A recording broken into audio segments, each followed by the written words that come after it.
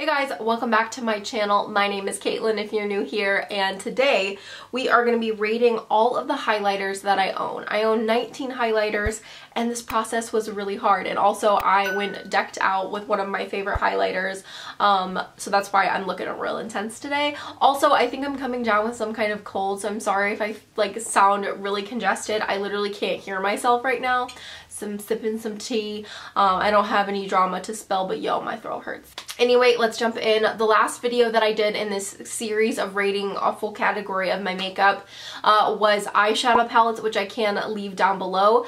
I feel like it's easier to rate eyeshadow palettes than it is highlighters because I feel like a lot of the time highlighters are so similar. In that video and in this video, I have kind of a point system to help guide me decide which are my favorite highlighters. So I have five criteria that I graded each highlighter on on, I gave it out of five points. So total, if a highlighter is completely perfect, it's gonna have 25 points. The categories are a flattering tone slash a good color, brightness and buildability, quality, finish, and packaging. Packaging is super important to me. So those are my five criteria. So let's jump into my least favorite highlighter in my collection. With that said, I love all of these highlighters. It's not a bad highlighter or wouldn't be in my collection. So coming in in last place, number 19, we have an Essence highlighter. This is the Pure Nude Highlighter in Be My Highlight. And this was marked down just because it's so subtle. Um, some people love that. I love having this in my collection for variety, um, but I'm definitely someone, hello, look at my face now. I love a nice stark highlight. I love being able to build it. And this I don't really feel like is very buildable. Also the color doesn't really work super amazing with my skin tone because it is kind of like this tan color. It still shows up on my skin tone. This highlight is maybe too intense, but you know what? It's appropriate for this video, okay? I'm getting all defensive. Anyway, you can see that it's pretty similar to my skin tone, if not a little bit darker than my skin tone. It shows up fine, but it's just really subtle. So that's why it's kind of marked down. And the packaging is kind of bulky, so I marked it down a little bit for that. So the next highlighter is number 16, and unfortunately, I'm surprised it's so low. So I'll kind of explain. This is the e.l.f. Shimmer Highlighting Powder in Rose Glow. I love this formula. I have another shade that is higher on the list, but for some reason, this one in particular, I feel like the texture has changed. So maybe it's time for me to declutter it. I don't know, it must be from being old, I don't know, but the other one's completely fine and performs a lot better.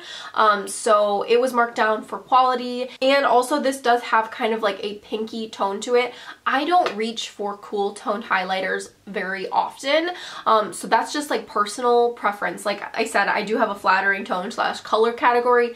Obviously, if your skin color is darker than mine, or if you're just anybody but me, your preferred tone or color of highlight is completely different than mine. So I know that's difficult, but that's makeup. I mean, everybody's different. So um, for me, I did mark cooler toned highlighters lower than more warmer tones or neutral tones. Also, packaging is really bulky. So the next highlighter is also a cool tone. This is from Vanessa's Vanity in Orchid. Orchard. I I sound like such an idiot because I literally don't know how to say that word. Orchid. Orchid. Orchid. That's what it's called. H.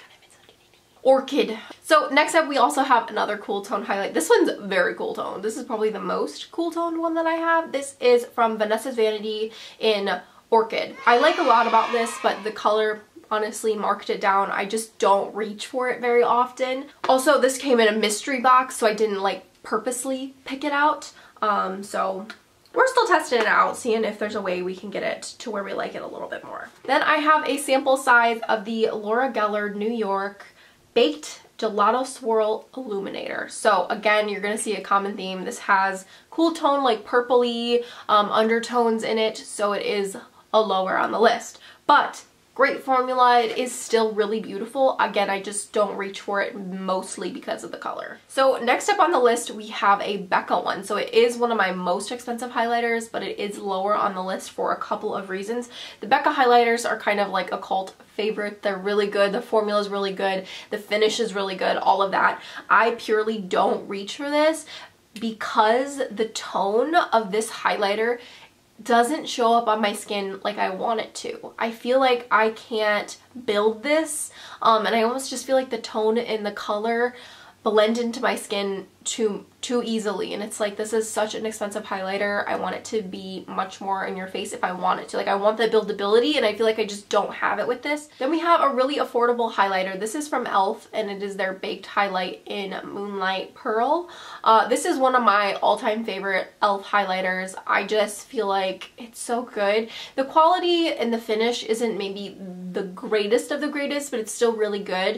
Um, I feel like it may pick up a little bit more on your texture if you have any there, um, but I love the tone and the color and you can really build this up to be super, super bright. So next up we have a highlighter from Ulta. This is their Northern Lights highlighter and this is my only liquid highlighter. I actually just ended up decluttering a couple of my other ones, so this is the only one left. It is, again, a pink tone, so I don't reach for it a super ton, but I do really like the finish that it gives. I love like liquid highlighters. Um, I just think that they add like this glow from within. Okay, so next is actually a eyeshadow technically from e.l.f., but I love using it as a highlighter. Uh, this is their baked eyeshadow in Moonlight Serenade. I love this because it's super unique. I don't have a shade like this. It has like this really unique yellow undertone and like I don't know how to explain it, but it's just so unique and beautiful and I love wearing this. I love reaching for this. I don't wear it all the time because again, for my everyday highlight, I just like something pretty neutral on my skin, if not maybe a little bit more warm tone. Um, and this is like it's like warm tone, but it's like a weird yellow. Like hopefully the swatches kind of explain what I'm trying to verbally say to you guys. Okay, so the next one is a loose powdered highlight. I'm actually going to be doing a indie brand Friday on this brand. This is from Give Me Glow Cosmetics and this is Warm Lights Loose Highlighting Powder. So I like that the packaging is small, but obviously I any loose powder product is really messy so it was marked down a little bit for packaging but again like I feel like that's that's literally just the nature of loose powders. I really don't want to say too much about this highlighter other than it's really, really beautiful. There are a couple things that I don't like about it, but I'm going to save it for that Indie Brand Friday. Then we have the e.l.f. Heart Defensor uh, highlighter in Coffee and Cream. So the only thing that kind of confuses me about this is that you have a really stark white highlighter and then kind of like a bronzy highlighter. I just don't see how these two colors can work on the same person. Like I am super, super pale. Um, so maybe more of a medium skin tone can pull off both of these shades. Uh, but I can definitely only count for this one and I really love it. It did get marked down for packaging and obviously this is unusable as far as a highlight for me. So that's kind of why it was marked down. Y'all, I am really struggling right now. Oh my gosh. I feel so weird right now. Okay. Focus. Oh my goodness. Okay, next up we have one of the most intense highlighters. Okay, it is the most intense highlighter in my entire collection. Now, it isn't a palette, so I but I only graded it on this particular shade. Now, this shade was super popular for so long. I don't know, I don't really hear people talking about it anymore. But this is from Sleek Makeup, and this is their highlighting palette in um, Solstice. And it's this gold color right here. Oh my gosh, you guys. It is blinding. I almost want to put it on top, but it I don't think you can handle it. The aliens would come to abduct me, okay? Because it'd be shining in their eyes. So just take my word for it. It's amazing. I love this cute little packaging. It's really nice. It has a nice little mirror in it. I feel like it does pick up texture on your face. I don't have like that much texture, but I definitely have some. Um, but if you definitely know you have a lot of texture, I feel like this would for sure just really, really exaggerate it. So just keep that in mind. After that, we have the Wet n Wild Mega Glow Highlighting Powder in Precious Petals. I love the Wet n Wild highlighters. I love how sleek the package is. I love their little imprint, just like little details like that are super cute. And this highlighter formula is so amazing. It's so nice. It blends out. You can build it up. Um, the only reason why this one's lower on the list, it isn't that low. It's kind of like in the middle, I would say, um, is because the color of this one is usually a little too dark for me personally. I can get away with it maybe in the summer, uh, but I definitely don't ever wear this in the winter. Okay, so the next one is literally only a dollar, you guys. This is from Shop Miss A in the brand AOA Studio. Their Perfect Pressed Highlighter in Heiress. Oh my gosh, I've raved about this before you guys, but again, this is definitely the best bang for your buck in my entire video. $1. The quality of this is fantastic. I love this highlighter. It's just honestly a stark white and you, you can make it not super intense or you can really build it up and make it really, really beautiful. So now we have the other one of the e.l.f. Shimmering Highlighting Powder in Pearl Glow. Uh, this one, the formula and the texture is bomb. So I, again, I'm not sure what happened to the rose gold one, or was it called rose gold? Where is it? Let me look at you. Rose glow sorry. Um so the texture of this one is just different and i don't know why. It just kind of looks a little bit drier in the pan so i'm just wondering it must have got some air, maybe it dried out a little bit, but the texture of this is so buttery and the fit, I don't know how to describe it. It just blends into my cheeks so nicely, leaves a most beautiful finish. It's a great color for pale people, so if you are also a pale princess, you need this one in your life. It's only $6. It's totally worth the money. Next up we have, it's technically a highlighter but it's more of a blush topper. Um, this is from also from Vanessa's Vanity, and this is in Strawberry Bubblegum. It says pressed highlighter, so that's kind of why I'm including in this video, but I definitely concentrate this more below my highlighter, not directly on top of my um, why can't I think of what this is called? Cheekbone. Oh my gosh. More like maybe towards the apples of cheeks and a little bit under I would focus this. This also has really nice like gold reflexes in it. It has a lot of dimension. I freaking love this thing so much. Right after that, we actually have another Vanessa's Vanity highlighter. This is in white gold. I love this highlighter so much. The quality is beautiful. It's buildable. It has kind of a yellow undertone, but it's super flattering. Oh my gosh, I freaking love this highlighter. I value the space of my collection a lot, and when pans are too large, um, as an eyeshadow, as a blush, as a highlighter, whatever, it kind of irritates me a little bit. Everybody has a different preference, so if you're not like a huge makeup junkie and have like a billion highlighters like I do, um, then it, might make sense to have a bigger pan, but for me, these are perfect, right on the money. So I gave uh, the packaging for these 5 out of 5. We are getting into my top three all-time favorite highlighters. Oh, are you guys ready? Are you ready? Okay, coming in at number three, we have the Mega Glow Highlighting Powder in Blossom Glow. But for me, this tone of this one is so beautiful. I feel like it does have a slight, slight pink in there, but it's not overwhelming and it's not too much. I feel like mostly it's just white, but again, it does have that pink, but it's not like obnoxious. You know, it's not like too cool toned. So the last two, you guys, I really don't want to pick one over the other because they're so different.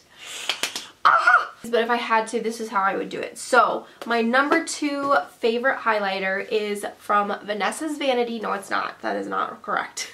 Coming in at number two is actually what I have on my cheeks right now. This is from Terra Moons Cosmetics in Sea Goddess. As you guys can see, it is stunning. Every single video that I have worn this highlighter in has one or more comments saying what freaking highlighter is that. But it doesn't have to be this intense if you don't want it to be, but it just, it sits on the skin so, so nicely, especially when you set it with a setting spray. Sometimes, like I did today, I'll set it with a setting spray, let it sit for just a second, and then I'll go over with a second layer just to make it that much more intense. The only thing that I didn't mark this highlighter down is for the enormous pan size. Some people would really appreciate this highlighter and how large it is, but again, for me, I value my space of my collection a lot, so it's just not not my preference. Another reason why I love this is that this is actually more of a cool toned highlighter I would say but like it kind of depends on the lighting you're in. Sometimes it just looks like a neutral tone on your skin, um, but then like in the sunlight you see all of these reflexes of like purples and like different colors in it, and I just think it's done so well. I don't know what she freaking did but it's so good, you know? I don't know what voice that was, but that's how excited I am about this highlighter. Oh my god, you guys need it. Alright, you guys, are you ready for my all-time favorite highlighter? And hopefully I'm not like disappointing anybody by this being my number one because I feel like I'm such a basic hoe. Um, but whatever. I bought this uh, face palette forever ago. This is the Jaclyn Hill and Becca collaboration where she did um, two highlighters, Champagne Pop, Prosecco Pop, and then like three blushes. I use the crap out of this thing. I bought this how many years ago? I still use it. Um, Champagne Pop is here. I've made a huge dent in it. Champagne Pop is my number one for many reasons because it has been my favorite for years and years and years and years. The quality of the Becca highlighters is fantastic. It has the quality, the buildability. I love the color. I don't know how she freaking did it, but this freaking color is one of the most universally flattering highlighters out there. I am the shade of paper.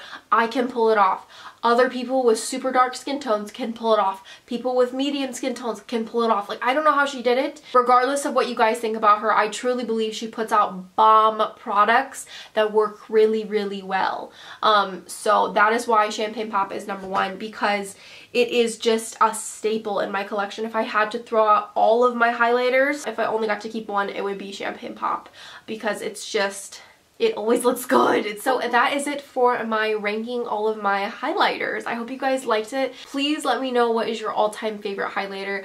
I am addicted to highlighting. Feed my addiction, people. Tell me what's your all-time favorite so I can check it out. Thank you guys so much for watching. Give it a thumbs up if you enjoyed, and I will talk to you guys in my next video. Bye.